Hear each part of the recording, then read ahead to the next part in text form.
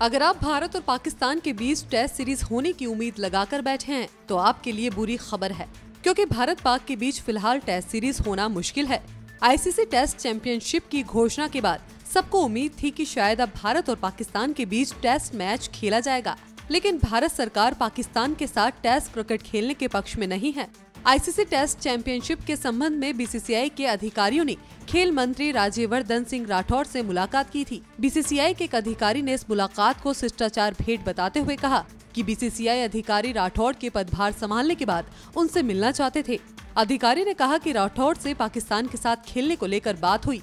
लेकिन इस पर निर्णय खेल मंत्रालय को नहीं, बल्कि पीएमओ और गृह मंत्रालय को लेना है। बता दें कि बीसीसीआई ने 2014 में पीसीबी के साथ सहमति पत्र पर साइन किए थे। इसके तहत 2015 से 2023 के बीच दोनों देशों को छह द्विपक्षीय सीरीज़ खेलनी है। हालाँकि आपसी संबंधों में आई तलखी के बाद भारत ने पाकिस्तान के साथ खेलने से इनकार कर दिया था। आईसीसी द्वारा टेस्ट चैंपियनशिप की घोषणा के बाद लग रहा था कि अब एक बार फिर भारत और पाकिस्तान के बीच क्रिकेट मैच होगा। लेकिन फ़िलहाल ऐसा होता नहीं दिख रहा है। स्पोर्ट्स आर की रिपोर्ट।